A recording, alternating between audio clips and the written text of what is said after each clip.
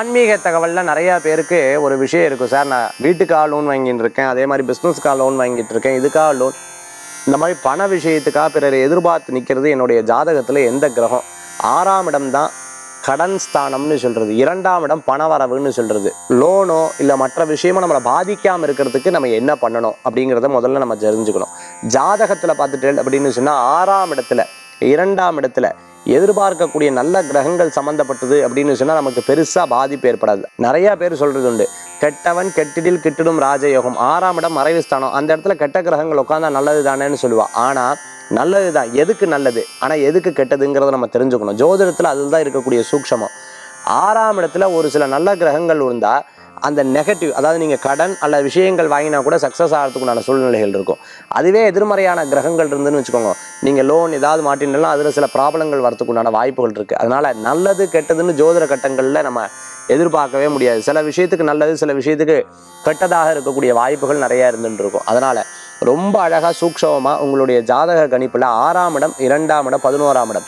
இதை மட்டும் சரியாக ஜோதிடர்கிட்ட கேட்டு அதில் நல்ல கிரகங்கள் இருந்ததுன்னா அதை நோக்கி உங்களுடைய பிரயாணம் இருந்ததுன்னா சக்ஸஸ்ஃபுல் கூடி வரக்கூடியதாக இருக்கும். சரி இதை ஒரு பக்கம் வச்சுட்டு எனக்கு பண விஷயங்களில் எதிர்பார்த்த இடத்துல பண வர வரத்துக்கும் பணத்தில் திருப்தி ஆகிறதுக்கும் பணத்தில் எனக்கு நல்ல முன்னேற்றம் ஆகிறதுக்கும் நான் என்ன பண்ணுறது இதுக்கு அண்டான ஒரு பரிகாரம் நீங்கள் சொல்லுங்க அப்படின்னு கேட்குற வாழ்க்கை இன்றைக்கி நான் சொல்லக்கூடிய பரிகாரம் ஒரு பெரிய மாற்றத்தை கொடுக்கக்கூடிய ஒரு அற்புதமான பரிகாரம். பிள்ளையாருக்கு பல பெயர்கள் உண்டு. இன்றைக்கி நம்ம பார்க்கறது லக்ஷ்மி கணபதின்னு சொல்லுவா. இந்த லக்ஷ்மி கணபதி ரொம்ப விசேஷமானது.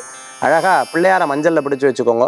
பிள்ளையாருக்கு வந்து சந்தனம் குங்குமம் விட்டு பிள்ளையாருக்கு அருகம்புல் விருட்சிப்பூ அதே மாதிரி பார்த்துட்டேல் அப்படின்னு சொன்னால் தாமரை. புஷ்பங்கள் எடுத்து வச்சுட்டு பிள்ளையாருக்கு தங்க காசு பொட்டு. சின்ன காயினாக வாங்கிக்கோங்க. தங்க காசில் பொட்டு வச்சுக்கோங்க. இல்லைன்னா பரவாயில்ல சந்தனம் குங்குமம் வச்சுக்கலாம். பிள்ளையாருக்கு டெய்லி ஆராதனை பண்ணுறது லக்ஷ்மி கணபத்தையே நமக. பிள்ளையாருடைய மந்திரங்கள்லாம் சொல்லிட்டு அவர் லக்ஷ்மி கணபதியாக பாவிச்சு கணபதி ஹோம பிரசாதம்னு சொல்லுவாள் அதாவது அவில் நெல் பொரி அதுக்கப்புறம் பார்த்துட்டேன் அப்படின்னு சொன்னால் கரும்பு சர்க்கரை அதுக்கப்புறம் கொப்பரை தேங்காய் இதெல்லாம் லேசாக வெட்டி போட்டு லேசாக பார்த்தீங்கன்னா திராட்சை முந்திரி போட்டு நல்லா கலக்கி கொஞ்சம் நெய்யை விட்டு நல்லா கலக்கி ஒரு டப்பாவில் போட்டு வச்சுருக்கோம். டெய்லி கொஞ்சம் கொஞ்சம் பிள்ளையாருக்கு நைவேத்தியம் பண்ணுங்க மனசார வேண்டி பாருங்களேன். பிள்ளையாரை வழிபட்டா எல்லா காரியங்களும் வெற்றி ஆகக்கூடியதாக இருக்கும்.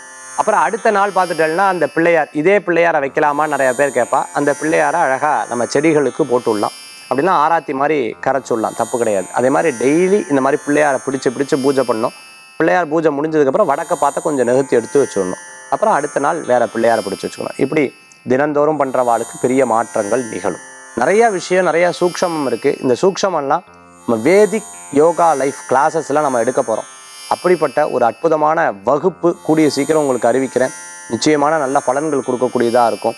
இந்த பலன்களில் பெரிய மாற்றங்கள் கொடுக்கக்கூடிய அற்புதமான வகுப்பு இந்த வகுப்பு. இது வரைக்கும் நீங்கள் எங்கேயுமே கேள்விப்பட்டிருக்க மாட்டேன் எங்கேயுமே பார்த்துருக்க மாட்டேன் அப்பேற்பட்ட ஒரு அற்புதமான வகுப்பு தான் இந்த வேதிக் யோகா லைஃப் கிளாஸுக்கு உண்டான வகுப்பு. இந்த வகுப்புக்கு முன்பதிவு பண்ணுறவா seven three nine seven three nine four eight two நைனுக்கு பதிவு பண்ணிக்கோங்க. மீண்டும் நாளை ஆன்மீக தகவல் நிகழ்ச்சியில் சந்திப்போம். உங்களிடமிருந்து விடைபெறும் ஜோதிஷாச்சாரியா ஜோதிஷ கலாரத்ன மகேஸ்வரி வேல்வேல் முருகா வெற்றிவேல் முருகனுக்கு கரகரோகரா. நன்றி.